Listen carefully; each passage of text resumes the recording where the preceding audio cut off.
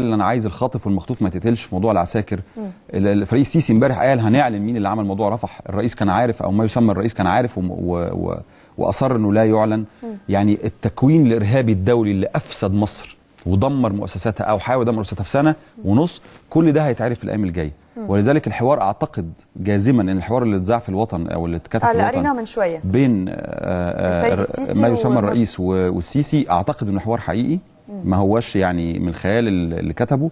وأعتقد هو ده اللي اتقال بالظبط قال له عندنا اللي هندينك بيه وخليك ساكت أحسن وقال له أمريكا مش هتسيبكم والحبة دول لأن الإخوان آه، تخيلي مين بيأيدهم أمريكا ونتنياهو. ما أيوه. فهم دول إخ- ولاد العم فعلا هم دول فعلا هي ده الجهاد المقدس. بيقول لك إحنا بنجاهد بقى 80 سنة ضد ال- العدو الصهيوني. هم واحد وحده واحدة يعني. فإحنا بصدد جماعة إرهابية هيطلع كتير في الأيام الجاية أسرار وهيطلع كتير من اللي هم عملوه. سد النهضة كان بالاتفاق.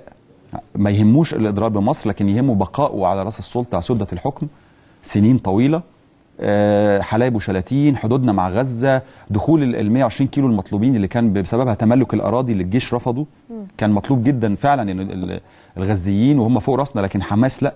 يدخلوا يستوطنوا غزة 120 كيلو آه، شرق العريش. كل ده كان متفق مع الأمريكان. آه ما حصلش بس يكفي الاتفاق يكفي طيب. الخيانة العظمى. خليني أسأل حضرتك سؤال مهم. والحقيقة هو بيدور في في ذهني